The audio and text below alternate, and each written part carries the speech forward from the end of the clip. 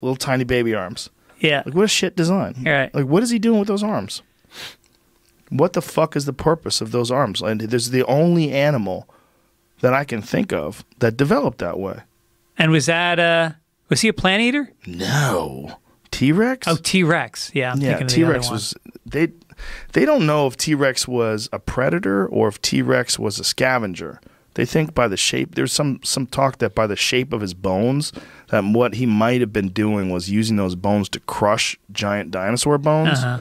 and that like he might be surviving on on dead things. Yeah. And that they also had some speculation that they might have had they they don't want, know what they really looked like because they don't know the skin color they had some s- uh, speculation that they might have had faces like vultures, like red, fucked up, really brightly colored faces, uh, just to let you know they're disgusting and they're here to, you know, because like when you see vultures, it's not a coincidence that they're the grossest